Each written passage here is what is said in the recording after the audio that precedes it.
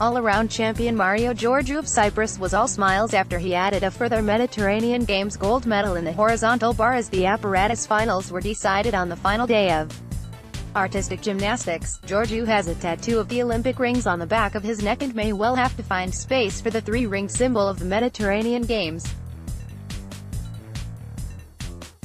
He leaves here with a full set of medals having also won silver in the parallel bars and bronze in the pommel.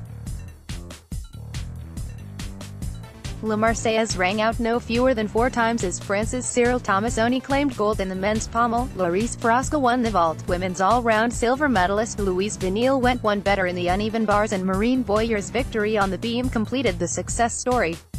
Women's all-around champion Lara Mori of Italy also took the gold medal in the floor exercises. Egypt's Nancy Tamamen Tamamen won the vault. Her compatriot, Olympic bronze medalist Sarah Ahmed, proved unstoppable over at the Konstanty Pavilion and unstoppable in the women's 69 kg weightlifting. In the snatch, her second attempt of 105 kg was enough for the gold medal. After opening with 97 kilograms, Italy's Giorgia Bordignon's no lift at 101 kilograms meant she attempted 106 kilograms for gold. It was not to be. Her compatriot Melina Ginelli took the bronze medal.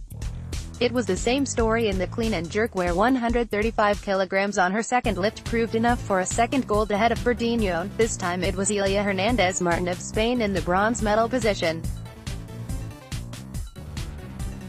Ahmed's compatriot Ragab Abdullah experienced the highs and the lows within a few minutes in the men's 94 kilograms. He posted 165 kilograms for gold in the snatch ahead of Theodore Iakovidis of Greece and Algeria's Saddam Messaoui.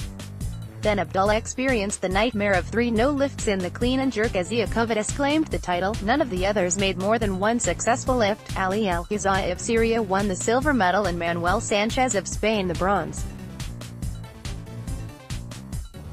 In men's wrestling it was the turn of the Turkish freestylers to shine. Selahattin Kılıçdaroğlu beat Slovenia's David Hibat in the men's 65 kg final. There was more Turkish gold when Ahmet Bilik won the 85 kg. Ahmed Ibut of France was second with Frenchman Teimuraz Brevnes Khatiba in third. Kılıçdaroğlu's victory followed two gold medals in the Greco-Roman yesterday.